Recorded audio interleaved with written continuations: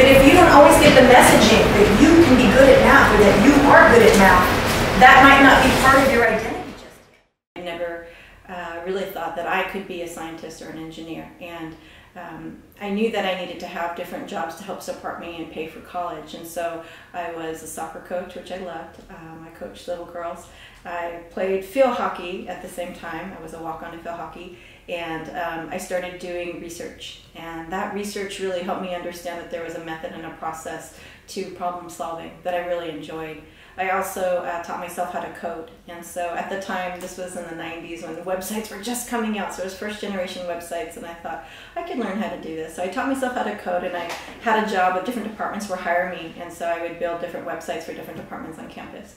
When I got recruited to work at Berkeley, um, it was really exciting because Berkeley is such a prestigious campus. But I also realized that for a lot of students that were here, the access to information and how to get into programs and tutoring and how to go on to graduate school was there was just so much hidden curriculum that it was hard for people to understand and hard for students to understand how to navigate all of that effectively. I, I found out that um, I had to face, after having um, just had a child within a year, I was diagnosed with breast cancer. And so I, I knew that that was a, a, big journey in front of me, but I also didn't realize how many surgeries and chemotherapy, you know, all the treatments and everything that would involve.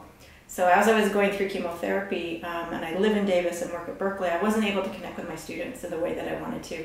So I started having these small micro touches by talking with them via the time Skype and um, texting a lot. And what I found is that those micro uh, touches were really powerful, and that kind of got me thinking about well how, how are we showing up in digital spaces to provide access to students? Because it's not necessarily about the quantity, it's about the quality of, of those touches. So the work that I started to do ended up being related to technology, and my research sort of involved to create techno inclusion. So I created a theory of techno inclusion, um, which is focusing on um, digital spaces, human behavior, and equity and inclusion practices. So I was really interested in understanding how you could use technology um, through equity and inclusion practices to create validating spaces, uh, a welcoming organizational culture, or for us on campus, campus climate, um, and also a sense of belonging for students that would give them access to not only um, networks, but information and opportunities and activities.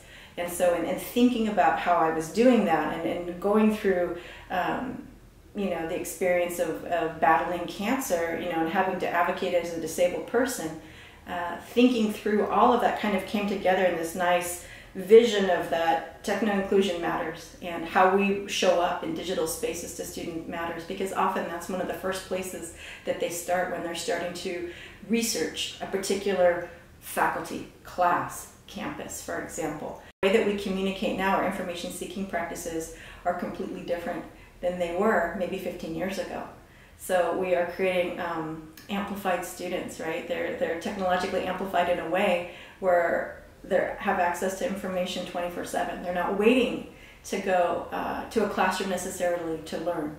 So, how are we connecting with them to help them on that journey?